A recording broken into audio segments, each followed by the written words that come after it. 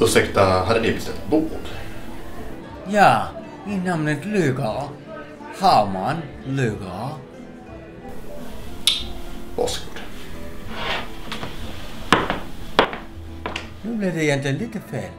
När man har beställt bord ska man egentligen invänta att en servitör anvisar en plats. Ja, det kan vara bra att veta. Visste du inte det?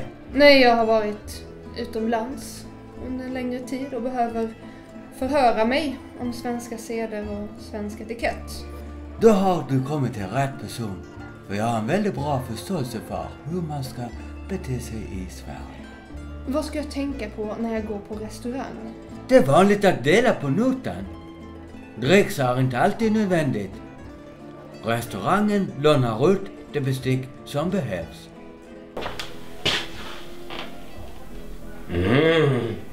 Det har lax här. Den är tyvärr slut. Vad tråkigt. Ja, mycket tråkigt. Jag har många olika sorters fisk med många olika tillbehör. Sill. Det är gott. Mycket gott. Det har vi tyvärr inte. Det har olivfestival här. Fast festivalen har redan varit. Det tog slut i mars. Fast vi kanske kan komma tillbaka nästa år.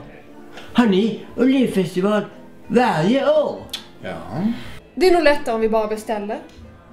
Även om jag inte har sett menyn så brukar jag få det jag vill ha. Jag vill ha kycklingpaté. Garnera med dill. Absolut inga oliver. Jag vill gärna ha tallrik, servett, glas och tandpetare. Jag är sugen på ägg, lök och kål. Fast helst skulle jag vilja ha korv. Bara korv. I så fall skulle det kunna passa med en köttbuffé. Har ni det här? Nej. Det har det i Lilongvé. Har du varit i Malawi? Det har jag aldrig sagt. Nu kanske du ska beställa? Ja. Till exempel ärtsoppa. I så fall är det vanligt att välja pannkakor med grädde och sylt som efterrätt. Det här är en italiensk restaurang. Därför beställer jag en spaghetti alla bolognese. Det är både gott och nyttigt. Vad vill ni ha att dricka? Mjölk. Vad är ert starkaste vin? Vill ni kanske kolla på vinlistan? Nej. Kommer jag strax något. Det här är vår första dejt. Vad mer är viktigt att tänka på när man är på restaurang? Det är alltid uppskattat att man visar intresse för andra personer i en sällskap. Jaha. Kommer du härifrån? Nej, jag är utbytesstudent. Jag kommer alltså inte från Sverige från början. När jag kom hit så var det väldigt svårt att komma in i det sociala samspelet. Tycker du om att cykla? Nej.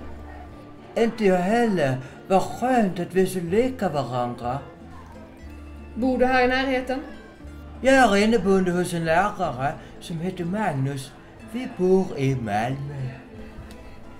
Är några brott belagda med dödsstraff i Sverige? Nej, dödsstraffet avskaffades år 1921.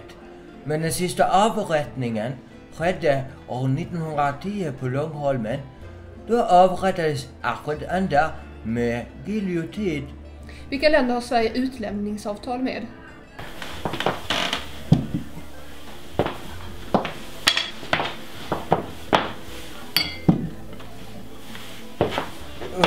Vad gött det ska bli. Det ser fint ut trots att det inte är olivfestival. För det mesta äter jag bara det som behövs för att överleva. I vissa situationer vet man inte riktigt vad det kan innebära.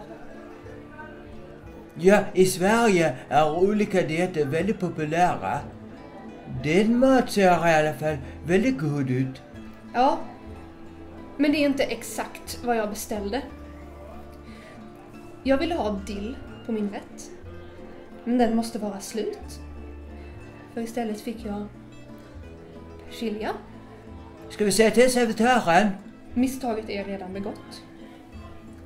Jag glömmer aldrig ett ansikte. Jag måste säga du är väldigt, väldigt söt. Ditt, ditt ansikte, dina ögon, din ögonfärg, ögonfransarna och ögonbrynen. Håret ovanpå är också väldigt smakligt. Ditt ansikte är också komplett. Tack. Vilka andra sociala regler kan vara användbara för att infiltrera lokalbefolkningen? Humor är väldigt populärt i Sverige. Det kan vara ironi, sarkasm, roliga historier, kåserier, parodier, slapstick, politisk satir, karikatyrer, fast med flera. Kan du ge ett specifikt exempel på humor som kan passa i olika typer av sällskap? Titta här. Det är roligt eftersom kvinnan är alldeles för tung för att sitta på en så liten åsna, vilket får åsnan att klaga.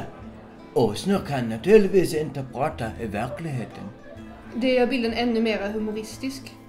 Ja, den blir mer absurd än om åsnan inte hade pratat. Det framstår nästan som om kvinnan är omedveten om sin egen tyngd. Ja, en persons vikt påverkas av ämnesomsättningen. Ja, den kan vara väldigt varierande. Nu när jag kan de sociala koderna för att umgås med lokalbefolkningen, vad mer ska jag tänka på för att inte väcka misstänksamhet? I Sverige så skulle man alltid till möten. Skål!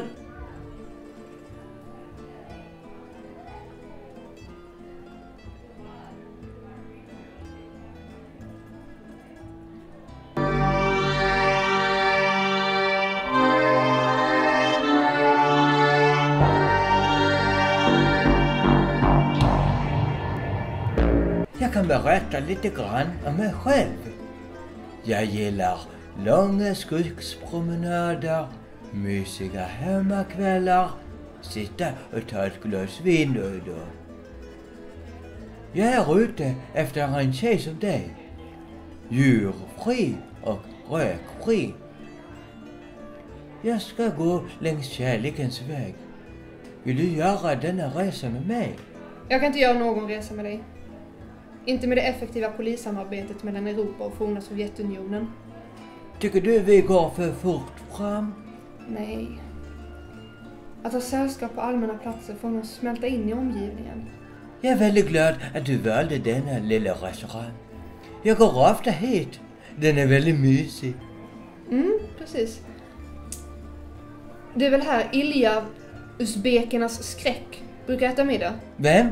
Gisslet från steppen. En kort man med svart hår och vit linnekostym. Ett stort ärr över vänstra kinden och efterlyst i Sydostasien.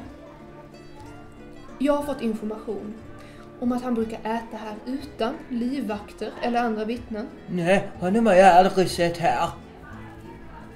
Oj. Ursäkta mig, jag måste rapportera om mitt misslyckande. Jag har inga pengar. Här 8000 D-mark.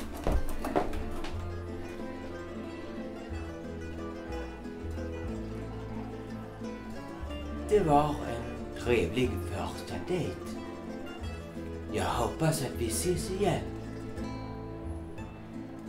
Och att vi inte missar Olivfestivalen.